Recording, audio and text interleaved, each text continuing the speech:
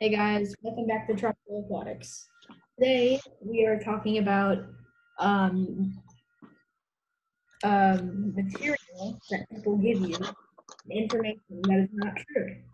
An example that is very widely um, believed actually, is that a goldfish can live in a bowl. That is incorrect. and that fish grow to the size of their Enclosure, Not true. They can goldfish never stop growing. like snakes. Yeah. Snakes possess the ability to never stop growing. But they grow until they die, and after they get get to their species, basically full length, they stop glo- growing as much, but they still grow. They still they just grow slower. Yeah, So yeah, they do, especially at not ratting them out, but the chain pet stores such as Petco, PetSmart. so PetSmart, uh, Petland, but Petland shut down their fish department a few years ago because they got sued for it. Yeah, now they only have like the dogs and cats. Oh no, no, they they got sued for the dogs too. Oh, really? yeah. Why? Now they're now they're only rabbits and like ferrets and stuff and cats. All right. So Yes. So Petland's business is failing, of course. Is that why I see ads for them like all the time? Oh yeah. Oh yeah, they were bought by Pet Supplies Plus too. Uh, How wonderful. yes. But I still get their ad on YouTube. Petland pets make life better. Da, da, da. All right. So, um, if someone gives you information that is, Like like False. catch 'em all fishing. You can put you can put a crayfish in a cubic square. yeah, do your research. That is that is a no go. They need a very long way of They- moving area. Need at least like 20 gallons or something. Yeah.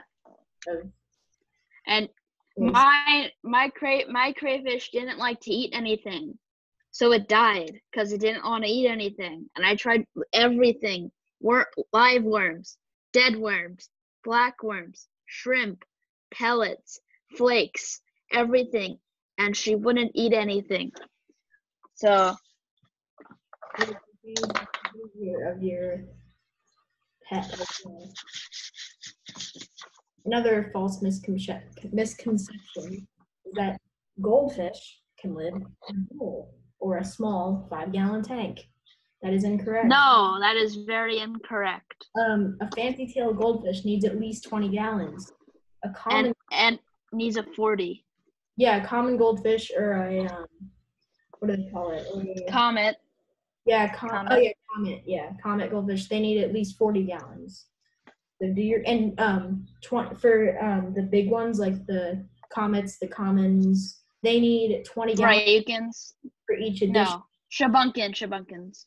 Yeah, Shubunkin. Gold. Um, all the fancy tail goldfish need ten gallons for each additional. So if you were to have a thirty gallon tank, you would have two goldfish. Another misconception, which isn't very enforced, but like because this fish can still live in these conditions, but a betta fish. I think that betta fish need this is a it's, it's really controversial, but I think bettas can live in a two and a half gallon. I think that's the minimum. I agree.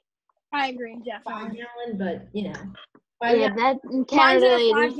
gallon. It's huge. bigger though is better, but I think two and a half is fine. Two half is definitely fine.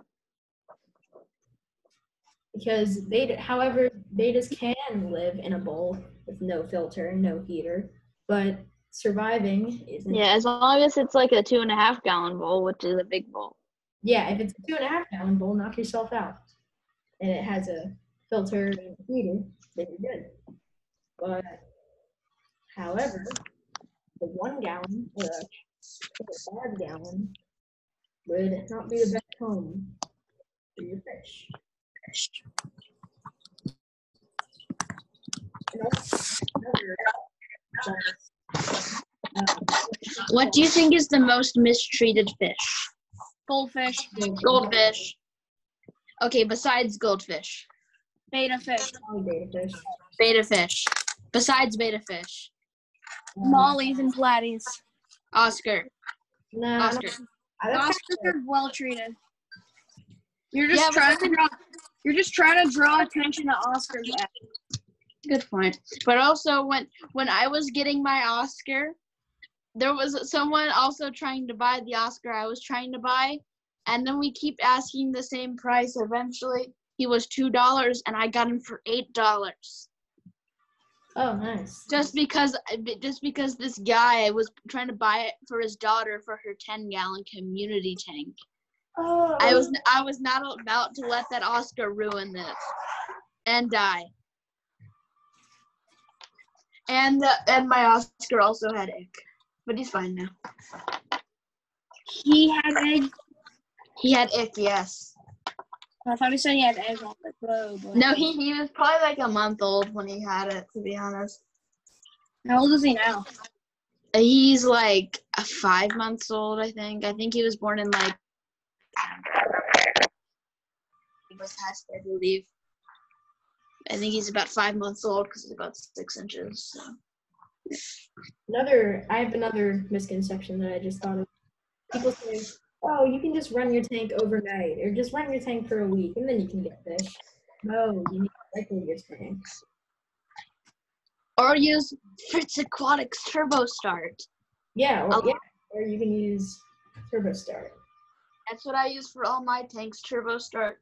Or I take like the beneficial filter media from one of my running tanks and just shake it off in there. Yeah, or you can put it. In Shake it off. Shake it off. Turbo Start or Shake it off.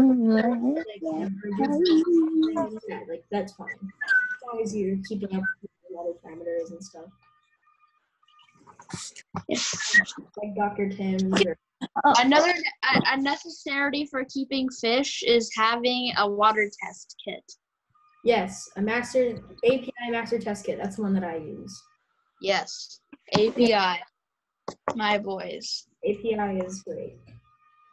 I have their stress coat stuff.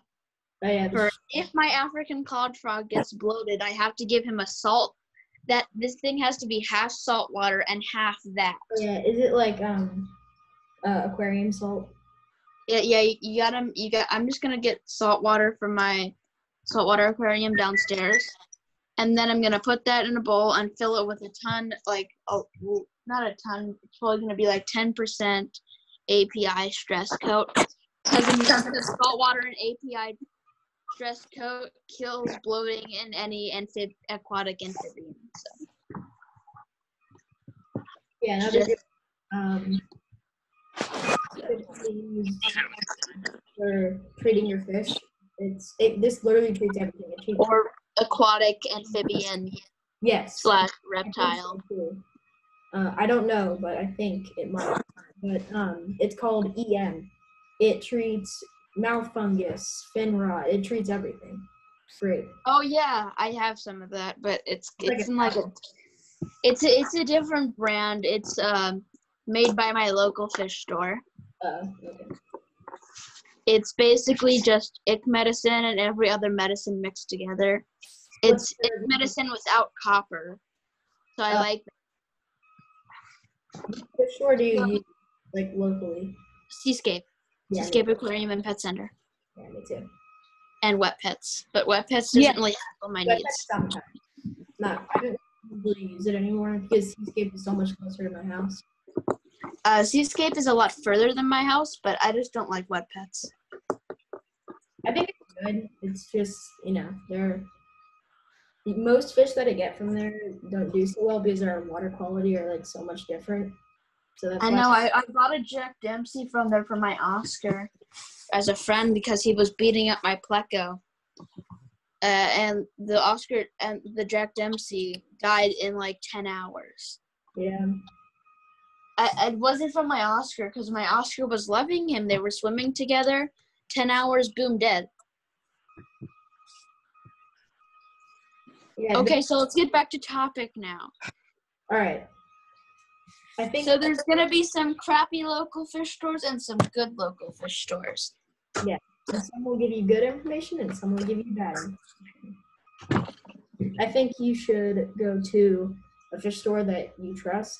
Like maybe go there, I don't know, three, four, five, six times. See if their pet care is good. See if you can learn things from them. And that's what I would use instead of. Um, The only thing I have from uh Wet Pets that is still living is my hornwort. That's it. oh, I have a school of copper or a school of brass tetras in my 55, which I've had for years now, and from Wet Pets, and they're just thriving. They're doing great, and they're actually really hard to find too. Cause he got lucky. Yeah, got lucky. And they're doing really good, actually. I also have a school of um, Harlequin rasboras from there that's doing. Oh, no, actually, only two of them are left from that I've had for three years now. But So don't mistreat your fish. Another mistreated fish or amphibian is the African clawed frog. You get them, you get them sent in the mail by Grow a Frog. And they say you put them in this little tiny half gallon container and they say you can they can live in this forever. yeah, maybe they can live in it as a tadpole. Yeah, they totally can. Mine was raised. Mine was supposed to be raised in my 10 gallon, but he didn't really like it in there, so I netted him out and put him in the one he was supposed to, and now he's a frog and he's back in the 10 gallon. And he is thriving. He's growing fat. I, I'm not feeding him the grow frog food because it's it doesn't have a lot of nutrients in it. He's eating bug bites, fish food Oh, yeah. and that's- and he's loving it. Even though they say, I think I know why they ch- they say not to feed them fish food. It's because they grow too fast, and that means it will get to adult form, and it will be it will be less, not as hard for the animal to withstand diseases and illnesses and dying. So they want the animal to stay a child frog longer, so it can be more like let's say like oh my god. Like he's open to diseases and when he's an adult they're not as open to it so that is that is my theory and they they should be sued. And even though african clawed frogs are illegal in 11 states mostly in california they they're very invasive there. Has a grow a frog. So they've been sued several times and and them. Go sue them please. I don't want to sue them so just kill them. Just get them.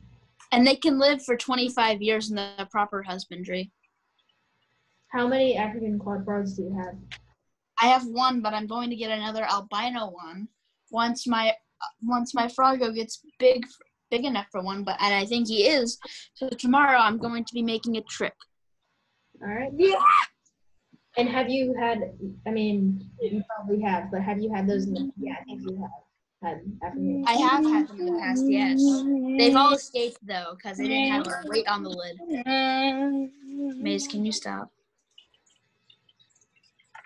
Um, So yeah, African clawed frogs, the most mistreated amphibian kind of ever. They are the most hardy animal in the world, I believe. Like I like no kidding, they are the hardiest animal in the world. So yeah, let's let's turn it back over to fish. Carlo, you want to go? Maze, Carlo. Well, I have an amphibian that is mistreated. I think, but for the most part, What is? axolotls.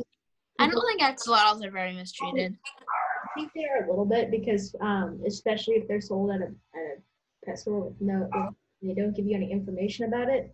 Because people think, um, I think what would mainly throw someone off, they think, oh, I can keep it in this tank that's set to room temperature. Like, what's your room temperature? Like 74 degrees? Yeah, 74, 71 around there. And they won't. You need, you need to get it chilly for them, like 56, 55 to like 65, I think is the temperature that you need for them. So that they're, they're pretty cold. Like you need to keep them at colder temperatures because they don't like the heat. And I think the reason they're mistreated is because they look cool and people are like, oh, this is so cool. I got to put it in my two gallon tank, even though it's the size of my two gallon tank. And they are extinct in the wild. So, like, that even makes it even better, right? Because you're buying an animal that's extinct in the wild. I think they're saving it. Yeah, they're introducing it again, but they all die. But or they're pretty in the wild, but in captivity they're Because yeah, because they only live in this one lake, and it's a lake that is in Mexico City, and that lake is kind of very polluted right now. So you can't really have axolotls living in that that condition. And there are also many um, salamanders, and when they're in their larva stage, their larval stage, they look like axolotls. Like um, there's one salamander, the tiger salamander, that looks exactly like an axolotl. When it's there, and they're commonly missold when they have their gills still. as axolotls. They pay them for money. These people get tiger salamanders that they don't want, and they just think it just lives in the water forever. But eventually, they won't actually be able to swim because they'll get too fat. Because most of them get chubby eventually, and they're more like you more need to treat them like long frogs. Yeah, They are long frogs. yeah. Yeah, they are. They are long frogs. to give you false information about that too. But um, let's see. Um, I don't think that um, like those chain pet stores would give you much information about um, water parameters either, unless it's a good one. There are some pet stores that are like the chain pet stores that might give you some good information on it, but um, I went to a um I don't know if it was a PetSmart or a Petco. And, um, they gave me. They said that an angelfish is, which I mean, I can see how you would mess that up, but I don't know why that even relates to this. But Carlo, I think we should end it there. I think so. Yeah, I mean, we covered. I think we covered most of it. Yes. All right. Um, thank you guys for watching. Uh, we'll have another one out on Friday. And Adam, would you do the honors? Remember to keep those nitrate phosphates, nitrite ammonia, and pH kind of low, and all the other things low. Tropical aquatics.